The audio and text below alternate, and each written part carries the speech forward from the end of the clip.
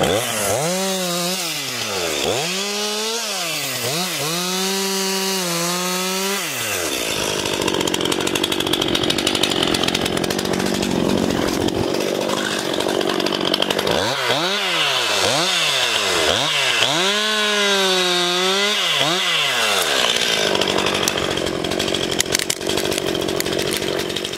No moi! Nyt me ollaan tuotu nämä 50-kuutioiset moottorisahat tämän mettää kokeiltavaksi. Tämä on nyt semmoinen kokoluokka, missä on oikeastaan niin kuin kaikkein kiinnostavimpia vaihtoehtoja ja eniten vaihtoehtoja. Tämä, tämän kokoluokan sahoilla nyt sekä metsurit, sen mitä sahaa, ja hankintaisännät, jotka tekee tosissaan puit, niin sahaavat. Eli nämä on tämmöisiä niin kuin ammattisahoja, tässä husku ja toi stiili, ja sitten tämä Ekko on tänne puoliammattimainen, kuten myös tämä Makita, mikä nyt on, on pikkusen raskaampi kuin nämä muut. Mutta tämä on, tää on vähän tämmöinen niin kuin ammattilaissarja moottorisahoi Suomessa. Ja nyt toi noin, niin, niin, niin keli tätä me ei valittu, mutta tämä nyt muodostui suunnilleen haastavimmaksi, mitä moottorisahoilla voi olla. Eli pakkaston luokkaa 10 astet ja lumi on tuosta höttöä, mikä menee joka paikkaan. Ja tässä on pikkusen niin kuin painiskeltu näiden vehkeiden käynnin kanssa, mutta siitä lisää myöhemmin.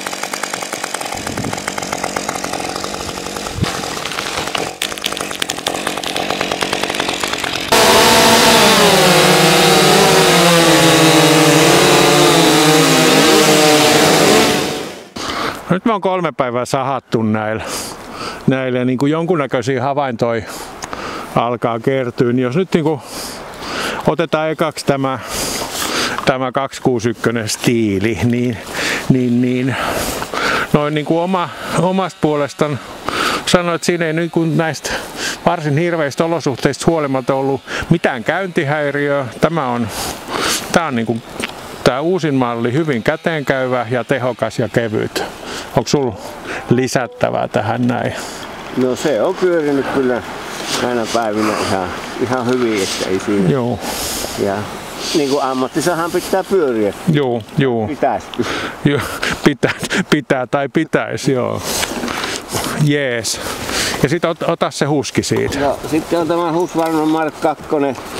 550 Mark 2. Kyllä, 550 Mark 2. Ja tuota, tämä on nyt toinen saha.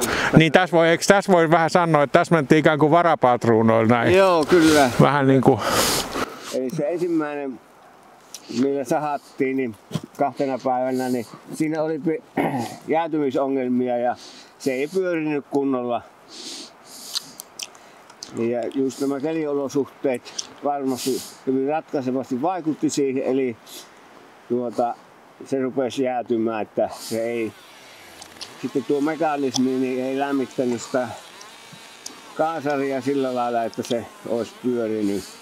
Eli se on varmaankin viallinen yksilö. No nimenomaan, että näitähän sattuu että, joka merkissä, mutta tämä, tämä toinenhan... toinen, toinen versio, mikä on niin tämä on pyörinyt sitten tänä päivänä ihan moitteettomasti.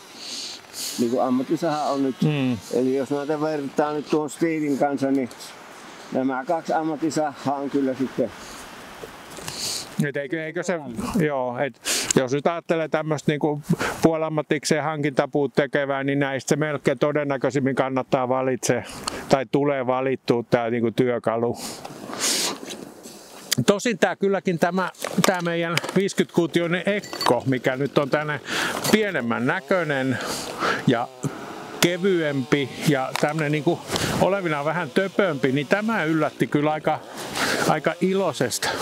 Tässä näet, tämä on, tässä ei ole edes mitään näitä niin talvisarjoja, niin tämä on käynyt ihan, ihan ongelmitta ja tämä on ihan kiva, kiva niin kuin käsiteltäisiin näin hakkuu. Se on siinä nyt sen verran voimaa, että sen kanssa viittii tämmöistä niin kakkosharvennussahat, vai mitä, miten koet?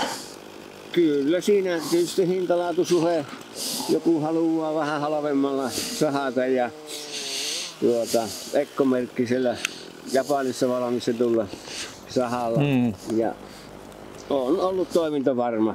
Joo. Niin kuin nyt tämä hinta-laatusuhteet, no suhteista puhutaan, mutta et puhutaan hinnoista, niin tämä on niin kuin, mitä katsoo, tarjouksia, niin tämä on luokkaa 500 euroa, hiukan plus. Ja nämä huski ja stiili on luokkaa 700-800 euroa, että et jokainen voi sen sitten laskea, että mikä, minkä verran haluaa säästää tai satsata. Mutta mut tämä, on, tämä oli ihan iloinen yllätys ja pirteä saha. Ja sitten meillä on, meillä on tämä Makita mallia 5, 5600. Tämä on toi noin, niin, tämä on nyt edelleen saksalaista niin kuin Dolmarin huonetta ja sukua noin alkuaan. Ja tämä on tämän niin kuin valmistaja eka tämmöinen ilmahuuhtelusaha. Ihan, ihan niin kuin teknisesti hyvä laite, mutta tämän kanssa meillä on ollut ehkä nyt eniten ongelmia. Tämä oli niin kuin pakast vedettynä toi noin, niin, niin, niin siinä oli nämä käyntisäädöt aika hukaiset. Meidän piti käy, käyttää se pajalla, joten siitä seuraten täällä on, täällä on nyt sahattu ehkä kolme tankillista. Voimaa on, mutta nyt kävi kyllä ilmi, että toi noin, niin tämä putulumi ehkä koettelee tätä kaikkein pahiten. Eli siinä niin tulee esille juuri tämä kurulumuun vaikutus sitten, että se meinaa pikkusen ruveta jäätämään. Eli tuota, kun saha lämpenee ja jos sitä seisotetaan sitten vähän aikaa, että tupakkatauon verran, niin ei enää kaasuvivusto. Se on kerännyt sinne kosteutta, niin vivusto ei enää sitten toimi niin kuin pitää sitten. Se rupeaa jäätämään. Juu, ja edes tupakin polton lopettaminen ei ratkaise kyllä tätä ongelmaa tässä tapauksessa, mutta toi noin, niin, niin se, jos nyt haluaa niin kun huomioida tästä vielä, niin tosiaan vahva, mutta tämä on sen puolisen kiloa painavampi kuin nämä, nämä huskia stiili. Et, et tämä, jos joku haluaisi sahaa, jos on voimaa eikä paino haittaa vaikkapa nyt polttopuusahamiseen, niin tämä on ihan ok. Tämä on kanssa niin kuin hintaluokkaa 500 euroa ja voimaan siinä. Mm, joo. Mutta jos keliolosuhteet olisi erilaiset, että jos sitä pakkaslunta, niin tuota, lainaten kuunnon sanontaa sympaattia, että tuota, kyllä näillä kaikilla puuta pyvältää. erityiskiitokset osasto. Eli ensin erityiskiitokset Jyväskylän kaupungin metsuri Puttosen Markul, joka lainasi meiltään Ekkon syystä, että kaikki uudet ekot Suomesta on kuulemma tällä hetkellä loppuun myyty.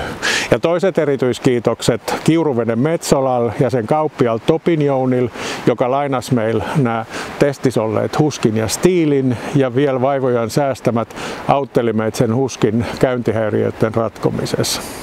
Ja kolmannet erityiskiitokset meidän katselijoille. Metsälehden YouTube-kanavaa on viime vuoden aikana katsottu noin miljoona kertaa, mikä on älyttömän monta kertaa enemmän kuin edellisin vuosin. Ja jatkakaa samaa mallia, että käykää katsomassa meidän videoja ja jos huvittaa, niin peukuttakaa ja ryhtykää seuraamaan meitä.